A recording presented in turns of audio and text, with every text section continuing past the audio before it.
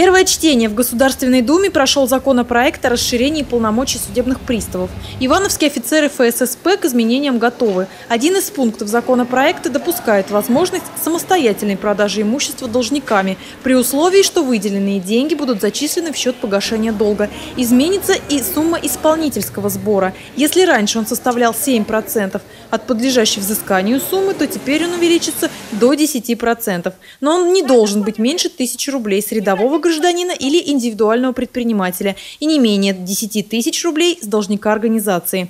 Также рассматривается еще ряд вопросов, в том числе вопрос о наделении приставов полномочиями лишать должников водительских прав. Судебным приставам предоставляется право проводить э, досмотры, а по существу это обыски э, в помещениях, в том числе и в жилых, э, в транспорте, то есть в водном, воздушном, при условии, что известны сведения или имеются сведения о том, что скрывается должник в этих помещениях, в этом транспорте.